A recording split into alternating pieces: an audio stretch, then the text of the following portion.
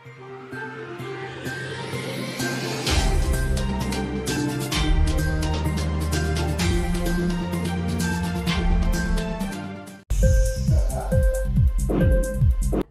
इंकलाब TV prime time समाचार में आपका स्वागत है।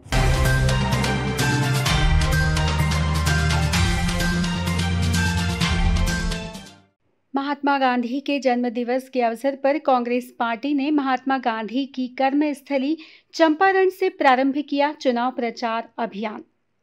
मोतिहारी के कांग्रेस आश्रम में वर्चुअल रैली के माध्यम से चुनाव प्रचार का आगाज़ किया गया। वर्चुअल माध्यम से ही महात्मा गांधी की आदमकद प्रतिमा का किया गया अनावरण। सैकड़ों की संख्या में कांग्रेसी कार्यकर्ताओं ने वर्चुअल रैली में लिया भाग। एक और जहाँ पूरा देश आज महात्मा गांधी के जन्म दिवस का समारोह मना रहा है, वहीं कांग्रेस पार्टी ने आज बिहार चुनाव की वर्चुअल रैली निकालकर चुनाव प्रचार अभियान की शुरुआत कर दी है। मौका था महात्मा गांधी की आदमकद प्रतिमा के अनावरण का। लेकिन इस रैली के माध्यम से कांग्रेस पार्टी ने आज एक तीर से कई निशाने लगाने का प्रयास किया है।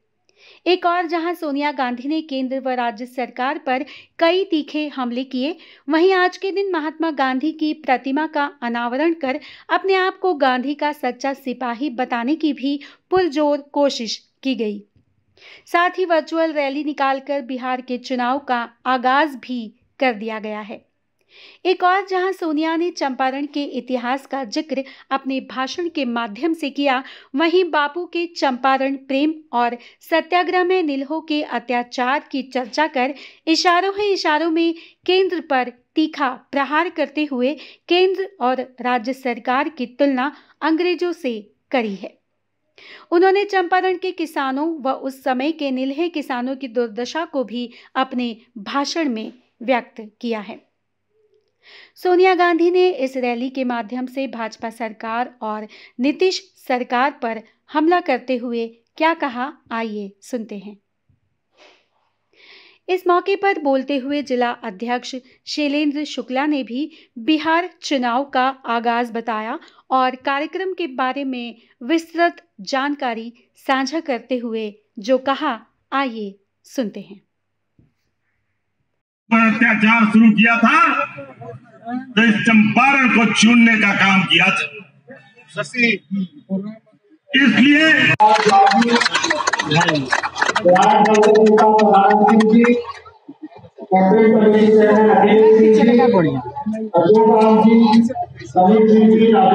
ऐसी योजना नहीं होती तो इस कोरोना महामारी के दौरान करोड़ों लोग भूखमरी के शिकार हो गए होते।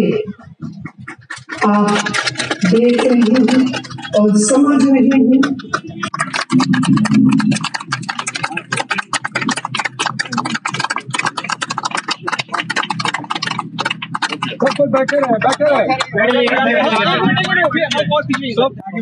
आगे इन और आगे इन आप बोलिए, हम ठीक है।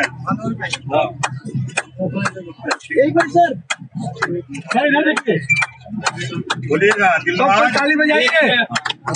चलिए ताली।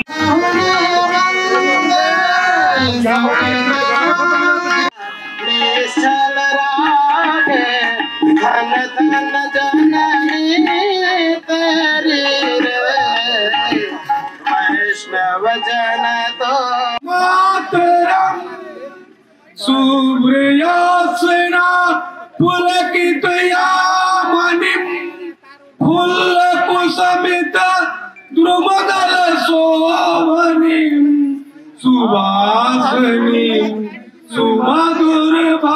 का अर्थ मनुष्य का समग्र विकास था।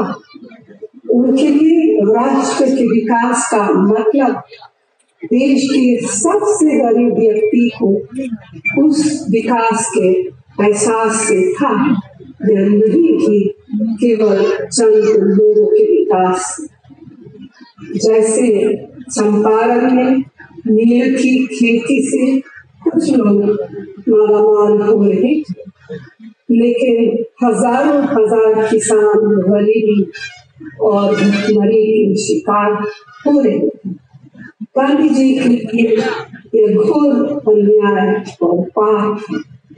इसी कारण कांग्रेस पार्टी की हर कार्य योजना देश की जनता को ध्यान में रखकर बनती है, न कि चंद लोगों के लिए।